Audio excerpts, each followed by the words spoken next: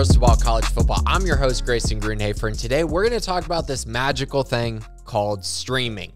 Uh, I know a lot of people, new term ever since conference realignment has started. That's been just a reoccurring uh, thing that has been brought up. And it's becoming more and more important. And obviously, things are trending in that direction to where, you know, that's how a lot of people are going to be getting their information, their news, their sports. It is something that's becoming a huge part of our everyday lives. But the question is, is this going to work for the Pac 12? And the reason we're focusing specifically on the Pac 12 is, of course, because we pretty much know that their new media rights deal is going to have a lot of streaming involved with it. Uh, so this week, I read an interesting article uh, from Forbes uh, by Jim Williams, just kind of talking about the relationship for the Pac 12 with this streaming side of things. Um, and also just going through a few of the different factors that I think have led um, to this becoming a much bigger part of the media deal than I think people originally anticipated.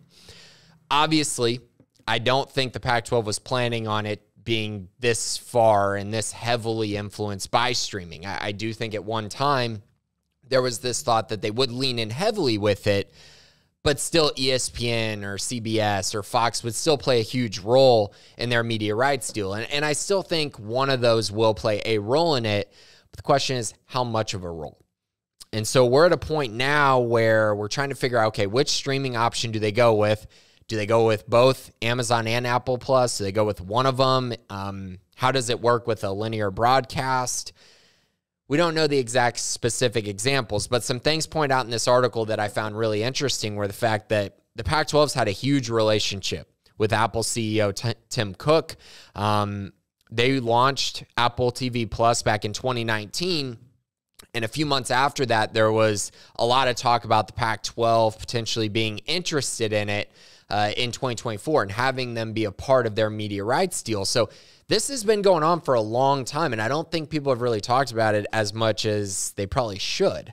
Um, so that relationship is there for the two to be working together. I continue to be of the belief that Apple is probably going to be um, the biggest part of their media deal. Um, but there is an option that they use multiple, but I think this relationship, this deep relationship that the two seem to have, makes it seem like destiny a little bit that the two are, you know, going to work together in some capacity. I think a big thing that's been mentioned uh, is the fact of okay, if this does happen, how much money can be made?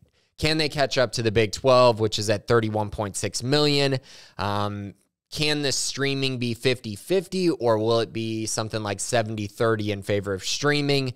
How does that work? Because I think those two things are the biggest question marks, right? How close can the Pac 12 get to the Big 12 money wise? Um, and then how much of this deal is streaming? Because I think there is a big part of the Pac 12, whether it's presidents or athletic directors, that feel like streaming is not as good as broadcast.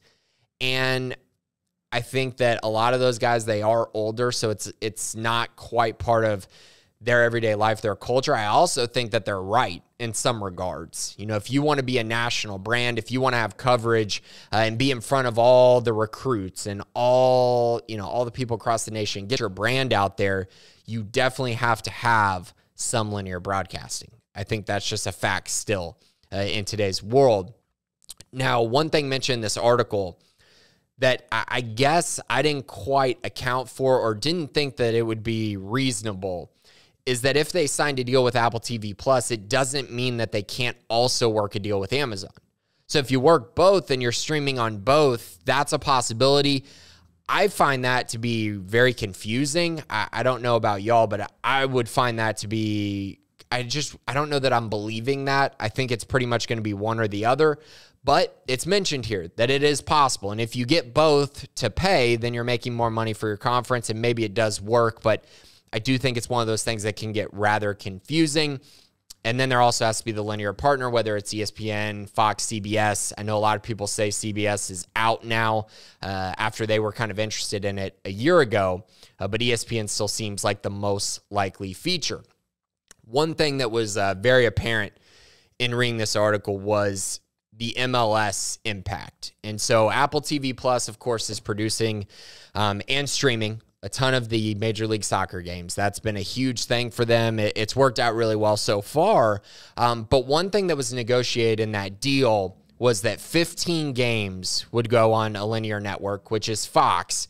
Um, but Apple would still produce and stream them. It just would be streamed on Fox, which I think that's going to be very similar to what the Pac 12 deal actually is. I think there'll be some package of games that are produced and um, streamed by Apple TV Plus and then posted um, and streamed on ESPN. So it's still, you're kind of getting the best of both worlds there.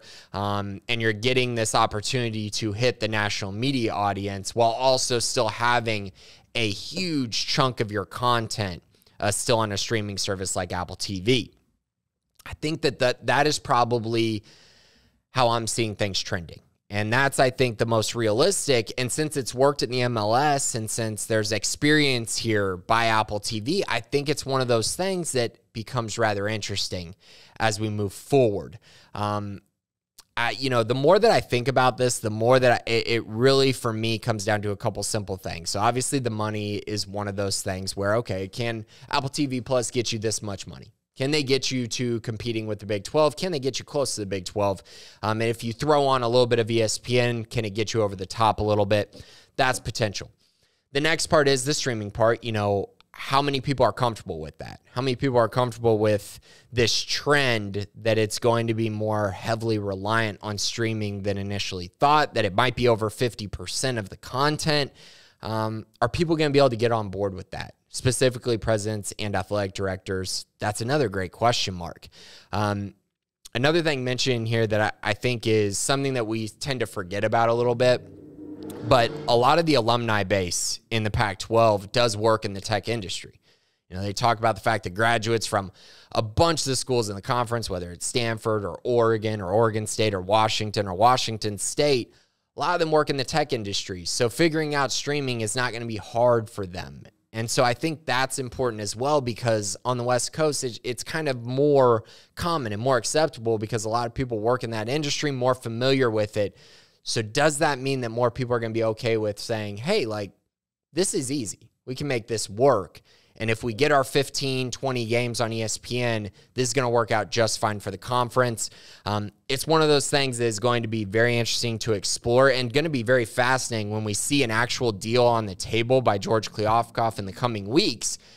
How heavily reliant on it, and what are the conditions, and what are kind of the stipulations, and how many games are going on linear broadcast? It's just so many questions that we have to get figured out. And then what is the response? from the presidents and the athletic directors. Um, it's going to be fascinating. But this Forbes article, the fact that it's talking about these past relationships and how it could work, um, very interesting. Very interesting stuff for the Pac 12 and definitely makes me more confident that a deal will be on the table and a deal that I think is somewhat attractive. Um, and that's just going to come down to the money and the streaming. And that's pretty much it. That's where I think we are at currently. But thanks for listening today. This has been Crystal Ball College Football.